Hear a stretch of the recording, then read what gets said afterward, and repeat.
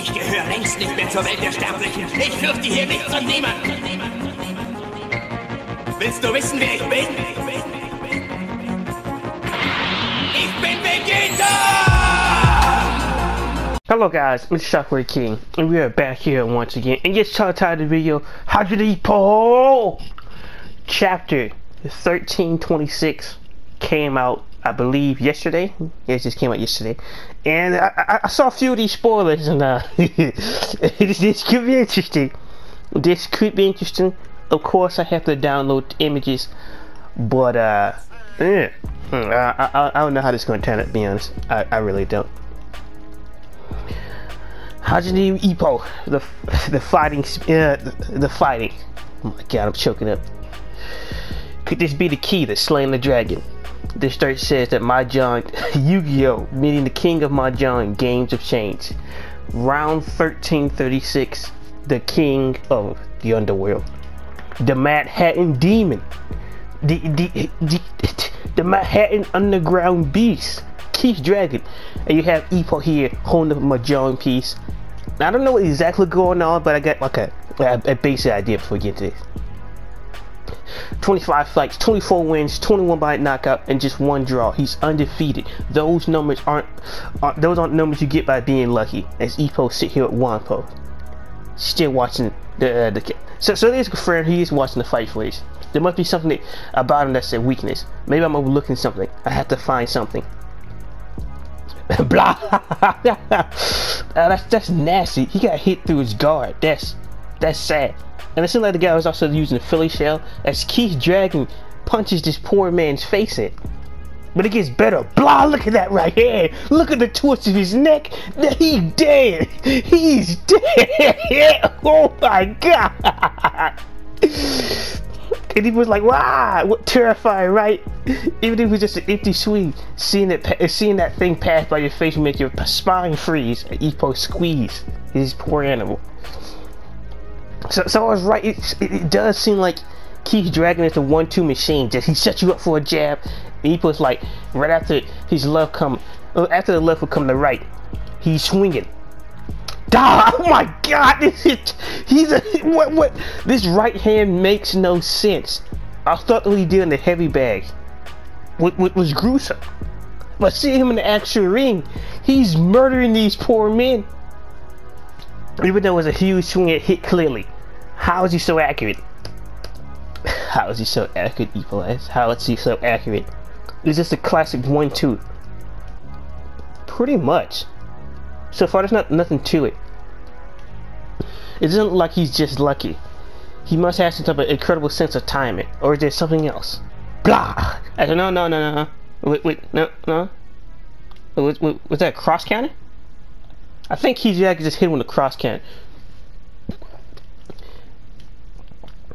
and his cover, and his cover five when his left is amazing too. It's just like why why does he keep it, it, it just like these are some of the most gruesome and relentless punches you've ever seen in the entire series. Cause this man looks deformed and mangled and potentially just went into a coma and put to sleep for good. Is traumatized. I know it's obvious, but having such a good left sets up the right to land perfectly. It's no matter how much, no matter, it's not a, it's, I'm sorry. It's not just a matter of luck. He's really incredible. Of course he's strong. Of course Ippo. As Ippo falls over with his dog, that's why he's a world champion. Well, that's why he's the world champion. Remember Ippo, he's one of those four. Actually, potentially, it, it depends what is defined undisputed. Because, you know, in recent years, you gotta add the WBO. But since it's still, like, I believe it still take place in the 90s, or the latest 90s, I believe it's still three. I believe so. I can't confirm that. We cut over to a gym, uh, to the Kurogama gym. Accompanying him, Yagi said Yagi-chan has to go to Shibuya uh, after this. Of course I can go with him. I'm not the kind of man to play games for a match. It's unthinkable, childish, and irresponsible. But I guess we're gonna take no for an answer. Wait, what? I guess. What?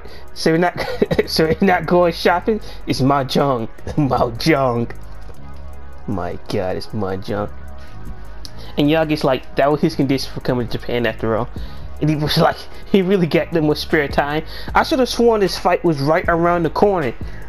It was right around the corner. But it wasn't. Yagi continues. The people who saw his practice said he's in tip-top shape. In fact, it looked like he might have leveled up since we since he got here. Really? Really? Even though he's already so strong before, he's gotten even stronger. That's Yagi continues. He cuts in. I don't plan on. I'm not planning on letting him step into the ring feeling good. Oh my God, no, Yagi, no! You're already the fishing champion. No, Yagi, no! And the coach like, I, I, I never dream of it. We have been visited by the blessed players of Shibuya, manga, and Palace. The strongest and pro wrestling, uh, uh, the strongest and longest reigning champion. That's incredible. That, that's that's incredible. No matter how much luck he got, he he puts like, wait, well, John takes four people, right? Then who's the last person gonna be? there was a man who's now for for going 20 years without a single loss, and all in Kana, uh, Katu. He was so strong that he was banned from all of Mahjong palace around. A man who plunged into his darkness, who be who banished him like in the shadows of the grand stages, but he still reigned as the king of the underworld. That's who rescinded the king. He was like the king, the king of the underworld. Look at Yagi. oh my god. Look at Yagi, my god! He's like, it's been a long time since my blood has boiled like this. Oh my god. Like seriously, we've gotten a full backstory on Takamura. We've gotten a full backstory on Shinoda and Kamogawa. We need a full backstory on Yagi. Why is he such a beast? What is wrong? That, that's the next backstory I want to see. Forget everything else. What is the full backstory between Yagi? Because this man is a fishing champion. He has like a two dot, two sided. Like, how can you be a dark king, a beast in fishing, and also Mahjong? Just look at his face. Wait, what? It's been a long time since my blood has boiled. Like, like seriously, like, who is Yagi? For 20 damn years, he was champion. He was banned from all the Mahjong parlors around. And, and, look at that fucking slither. My god. yes. Yes. Oh, this this stuff is too good. This this is this is too too good. We need a full backstory on Yagi because there, there's something up with this man. He's not a normal human being. He's just like he's missing that throws off his clothes, tug, tug. He, he, he hooked himself up with a top tier suit and tie. and he posts like, why, why the funeral suit? And yeah, just like, because I might be sending somebody to the early grave. I, read, obviously, I have the right to wear these clothes. My God, this man is no longer human. Like, seriously, who is Yagi? The most undercover savage, the most undercover beast of Hajime Ippo. We, we, my God. We thought Aoki and Kimura had potential on the Kamogawa team. Yagi has always been like a different type of animal. Like seriously, how do you keep up with Takamura doing fishing when Takamura don't jump into the goddamn pond? And Yagi walks outside with these excellent leaves outside. Well then, shall we? Oh my god, Yagi has went through his full transformation. He has turned into the Mahjong demon. He has turned into a different type of beast entirely. He's he gonna be sending somebody to an early grave. Who who like like who is this man? The last time I heard those words, the last time I heard those words, Mashiba was planning on sending someone more to the grave. And technically when it refers to his career, he technically did, unofficially. He wasn't responsible for the car accident, but uh, you never know. The king of the underworld, as it's a guy Aoki Ikimori. I don't know. I think it's a it's a guy he yelled it from the top of the gym. My and of course they sent Ippo on this on such a mission.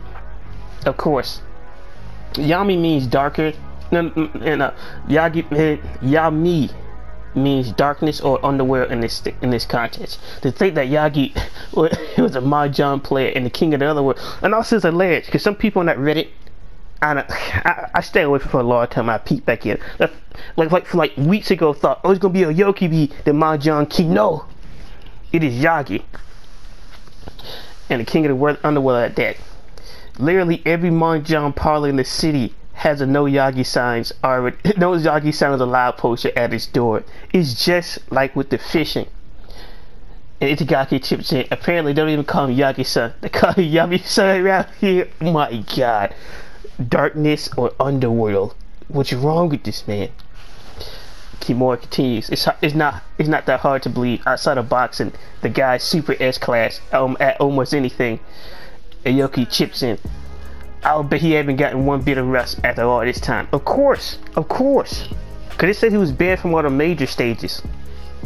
They never did say about the underground arena, where only true monsters lies, where the Manhattan Demon King bring forth his presence into the Japanese underground scene.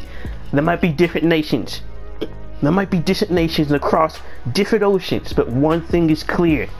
All the underworlds have a way to connect to each other. They're all connected to the same thing. And as the demon, one demon king arrives, one retired demon king come out of the shadows to restake his claim as king. But get back to enchanted. But this guy's like, but why did he bring Senpai along with him? I don't sure who's saying this, but apparently he's so good that he's been accused of cheating in a fight with Breakout. Ippo's his bodyguard. My God, are you serious? Is that bad? Is that bad? Like, what type of monster is this? We need a full backstory on Yagi. This is ridiculous. So it cuts over to a place. And I believe uh, it is a, yeah, I think it is an elevator.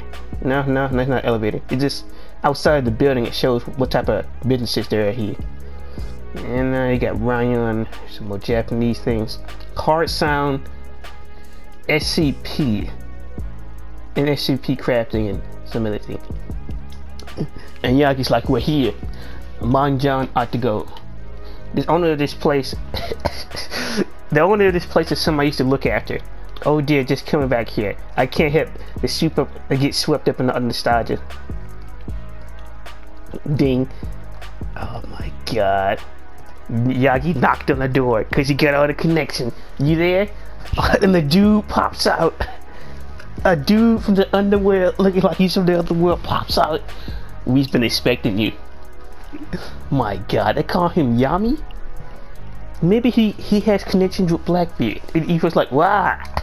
And Yagi's like, hey, don't act like a thuggish like that. I brought a youngling with me, come on. Uh, and he was like, Yami-san, thanks to the word of Yami-san, I'm proud to be the owner of our business, Mahjong Parlor. It's all about the board, too. Ippo thinks to himself, this is a Mahjong parlor, huh? This is my first time seeing one. All these board tape. Oh my god. Oh my god. Oh my god. Before we get to that, I thought it would be all dark and seedy with clouds of smokes everywhere. Of course you thought that. But it's just a brighter and cleaner than I expected. Those two have been waiting for you. Your two pupils from long ago. What? The man with the longest winning record. Mu uh, Murakami. Murakami. And just look, look at this. Look. Yes, we get some new new character design artwork. This man has had eyes and eyebrows we've yet to see. We look like he's more based off of a real person than anything else. We have the other guy with shaggy hair like Kimura, and the current strongest pro in the pros. Is that just Oi? He's just O and I. It's just Oi. Uh, maybe it is, maybe it's not. Yeah. But Yagi's two. What? Like, we need a full backstory on this man. His two pupils. My god. It's been a long time. I never thought I'd get a chance to play Yami-san again. My god. Totally different from how we were back then. So just so that you know. I'm sorry to call Yagi's like I'm sorry to call both of you out here like this. With Jin, Tanaka-chan. Nipo thinks to himself, Mahjong pros are even well, even have their own uniforms. This is different than I expected. If you really like watching sports, I'm excited. Yaka continues. I'm sure you heard the situation already. Don't hold back today. No, In fact, go even harder than usual. It, it, it, the disciples like, as you wish, as you wish. What's up with these characters being undercover, dark? I'm telling you, we need that full Yagi backstory. He was like the strongest and the best, and the top of the top, the king in the underworld. Then the Manhattan Demon King arrives. Look at that pompadour, my God! Look at that jumpsuit. Look at that, my God! This is this is too much. I can't take it.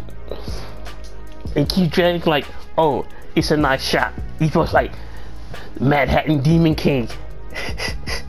and the door, the and the guy at the door is just like, I hand the translations. And Keith Dragon takes off his glass. He takes off the shades. Look like we're to get all four. My God! What the? what?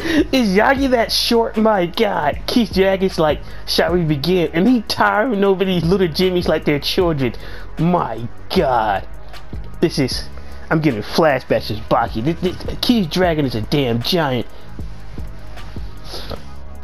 And like always, like I see, I see. He's certainly an intim intimidating figure, but I'm used to having big guys as my teammates. And the, the other guy who, who name I can't remember. You're in trouble. You think Mahjong boxing the same buddy? Let us show you the difference between Japan and American levels. we got ourselves some competition. The kings in the underworld must do battle to the death. And the, and the door guy's like, match starts. Now I don't know who says thank you very much, but someone says thank you very much. Oh my god, and he got Keith. Idea first A. What should I throw away? As Yagi's two people think, this foreigner wasn't even on our radars in the first place. We came back here to pay back Yami-san for being there so badly when he was younger. And Keith Jack's like, hmm. And the two people's like, just go already, let's do this. Tap. fall like dominoes. Sorry, it looks like I win. What the? What in the world? I mean, when I was starting, when I downloaded the pages, how did he already win? It doesn't make any sense. everybody's like, what? The heavenly cannon right off the bat. What would Yami-san do? Find out next week. What the hell is this? Like that, he just fucking sat down in the chair. How is this even possible? My God. And they was like, go already, go already. You just lost just like that. Now I know nothing about Mahjong. I don't, but this is this is ridiculous. And he's just like now like there's a good thing about this whole thing. Keith Dragon might have won the first match, but it seems like Yagi is unfazed. He's not even sweating. He's just like this. Now, now we could still have some hope.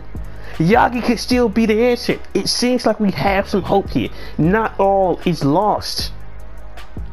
Maybe not all is lost. Can you got the two pupils sweating bullets. But the but the but the Japanese the, the Japanese underworld king is not even phased. He's wait, he's not even concerned. He's just like, oh, he he, he won it right off the back. All right.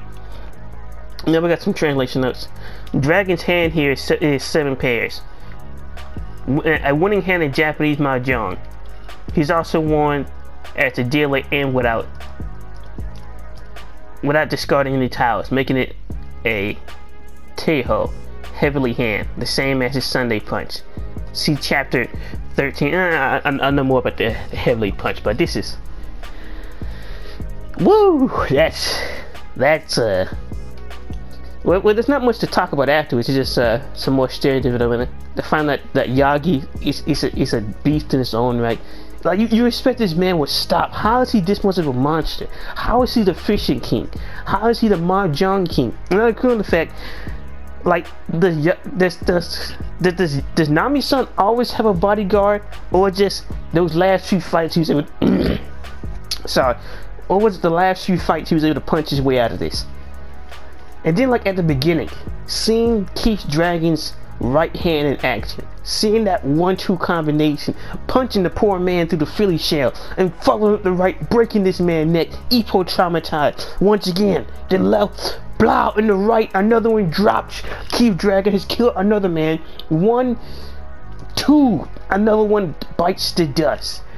It seemed like Keith Dragon could be the basics king. We, we thought David Eagle was excellent, the one-two basic, but, but Keith Dragon is a different breed. is is it possible that Keith Dragon actually hits harder than Takamura? Is this the first time where Takamura enters the fight and he is not the hardest puncher? This is interesting. Not including the fact what type of injury he could face. Not including the fact what type of shenanigans could happen in the middle of the match. I will say I thought the match would happen like by now after Ippo watched fight footage, but I'm not even mad at this chapter. This this chapter is is, it's excellent. Cause like it makes no sense. Like how could someone right hand and one two be so dominant? How come his left hand be so accurate? Cause like every time, it's, it's, it's kind of like, well not really. It reminds me a lot of Tommy Hitman Hearns. Now there is a strong difference between Mashiba, Richard Bison, and Hitman Hearns. Because Hitman Hearns always had like a paw and jab. And he would always use the jab, the paw and jab, to, to block the opponent's sight, and then he would drop the right hand and knock him out. And Keith Dragon is not doing the exact same thing, but he is testing the waters and range with the jab, then blow, breaks a poor man's neck, blow, sends somebody straight down to the canvas.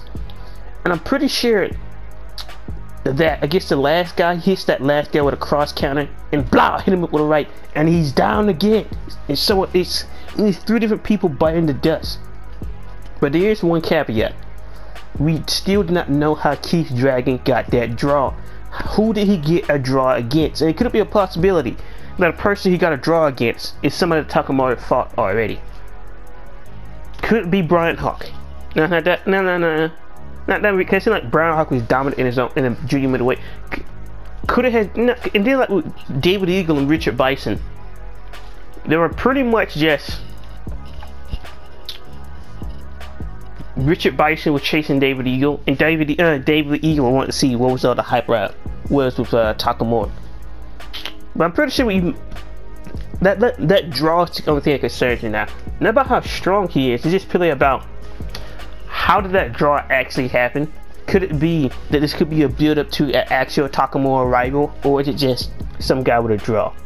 Then later on in the chapters, Yagi, the king of the underworld, the Japanese Demon King, Yagi, or should we call him by his true name, Yami-san, is out here destroying people, ending people's careers, getting thrown out of Mahjong Polish, getting thrown out into the streets for 20 years. For 20, now, oh my God, for 20 years been banished to lurk in the shadows of the grand stages, but still reign as the king of the underworld. That's who we're sending. Yagi, the Japanese demon king, the Japanese beast of darkness.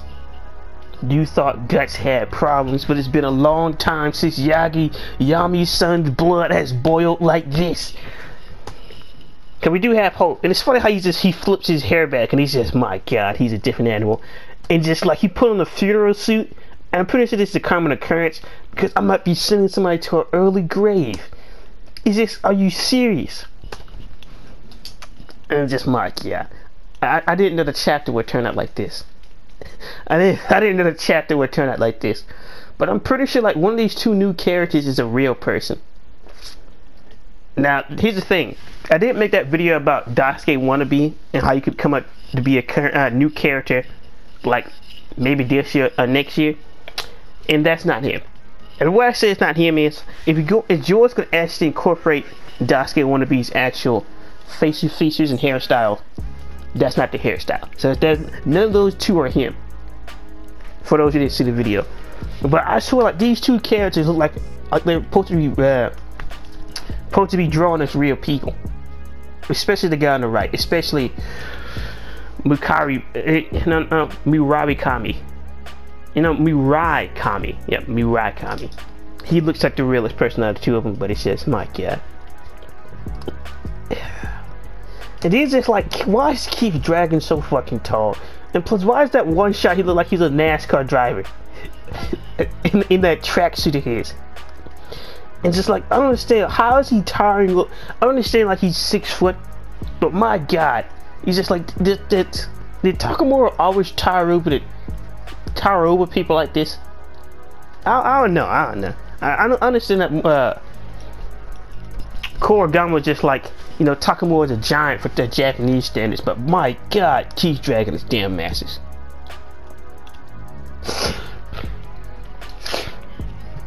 But uh, yeah, and it's funny because like I doubt they try to treat for it, Yami-san or anything like that. So it just just so happened the man sits down on the right side of the table and he's already fucking won. My god. Yagi looks unconcerned next to these two amateurs. Oh, master, we've gotten better since then. S shut up and sit down. I'm a king with over 20 years of experience. You guys, you two guys are just going to be the backup. This is between Yami-san and the Manhattan Demon King. But I hope you guys enjoyed the chapter, the chapter review, and my thoughts on it. And I mean, when I first saw this chapter, when Keith Dragon made that face at the end, sorry, looks like I win. I was just like, who did you look like? You look like Bryan Hawk or somebody. I, I can't remember exactly who Keith Dragon looks like in this one panel. But he looks like an absolute beast with this pompadour, the long hair, and the tracksuit, and he's an actual real deal beast. He's a savage.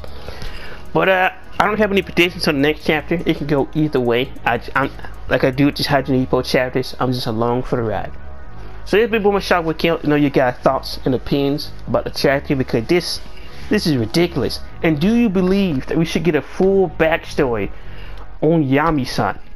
Cause like there's no way it's just you know what there's no way and also in fishing and Mahjong, this man's been thrown out and everything. Been banned from every lake or pond. Been banned from every Mahjong. And it's like, if he was that dominant in Mahjong, did he also get that same that same ban doing like his fishing career throughout the entirety of the country in 20 years? Like seriously, who is this man? Like who is Yagi truly? Like we need a full backstory on this animal, cause there is no way this man is a full full blown savage like this. He's a different breed. He's a different animal entirely. Could we have Shinoda's backstory, the coach's backstory, Takamura's backstory? Yeah, we have most of the later half of Takamura's backstory. We don't know what Takamura's family dynamic with his father or mother is. So that's the only thing I'm missing. And with Kimura and Aoki, it's just we might get some extra things with uh, uh, Kimura, but I doubt Kimura have any other siblings. I doubt that. So unless you have like a cousin or something. But besides that, just yeah, yeah. I want to full backstory on Yagi. And, and, and that's what I want. But be Booming Shockwave King, what are your thoughts about Yami-san, the Underground Beast? What do you think about the Manhattan Demon King already coming out with, with the heavy fist and, and just already coming out dominant? And uh, what do you think that one draw truly means? Why does Keith Dragon have this one draw if his right hand is that powerful? Who knows? The big woman Shockwave King and uh peace.